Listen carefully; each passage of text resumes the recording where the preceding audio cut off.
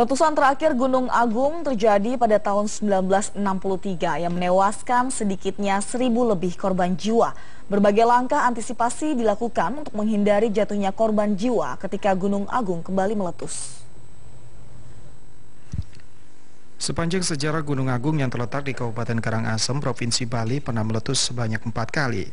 Berdasarkan catatan PVMBG, gunung dengan ketinggian 3.142 meter di atas permukaan laut ini pernah meletus pada tahun 1808, letusan kedua tahun 1821, 1843, dan terakhir adalah pada tahun 1963. Erupsi terakhir tahun 1963 terjadi sejak tanggal 18 Februari 1963 dan berakhir pada 27 Januari 1964.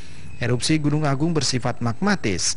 Letusan gunung pada tahun 1963 mengakibatkan 1.148 orang meninggal dunia dan 296 orang luka-luka.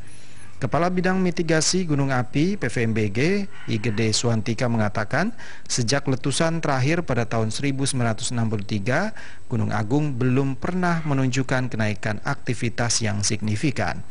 Namun semenjak bulan September 2017, aktivitas Gunung Agung terus meningkat.